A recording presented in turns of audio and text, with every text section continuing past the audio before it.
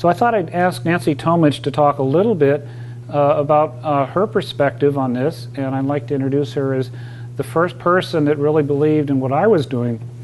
And uh, she was a reporter for U.S. Medicine, and, and she listened to me and said, That's a good idea, let's make it happen. And, and so that was a, a, kind of a key point for me is to have somebody uh, believe in it. This is just going to be a brief note because I think Tom's film so poignantly portrayed what the DHCP meant to the people who developed it and how difficult it was in the beginning, especially to get it going because there were people in central office who were trying their best to, to quash it. They were threatened, they didn't like it, they felt that their financial futures were at stake because they wanted the proprietary thing to go in when that meant money for everybody.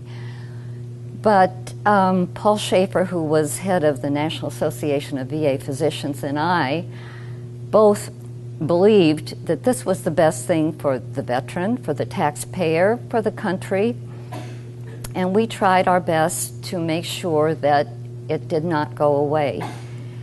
Uh, we both met with Dr. Donald Custis, who came in as chief medical director, sort of in the middle of all this, and was being battered, you know, from the people in central office who were telling him, "Don't listen to those people in the field. You know, they're troublemakers. They just want the power for themselves. Don't don't pay any attention. They don't know what they're doing. We have the specifications. We know how to do this. Don't listen to them." Well, Paul Schaefer and I just sat down with Don Custis several times, and I remember one time doing an interview with him about the DHCP and the need for user involvement in developing these systems. And he said, Well, I don't know. I said, You know what? Go to the DC VA hospital and see what they have. Have you actually seen this? And he said, Well, no. He said, but it sounds like this group really, in essence, is an underground railroad. I said, yes. And in the Civil War, that was a very good thing, remember? So he did go to the DC VA, VA hospital, and once he saw what was going on there, that was it. He said, that's it. This is what we're doing. This makes sense.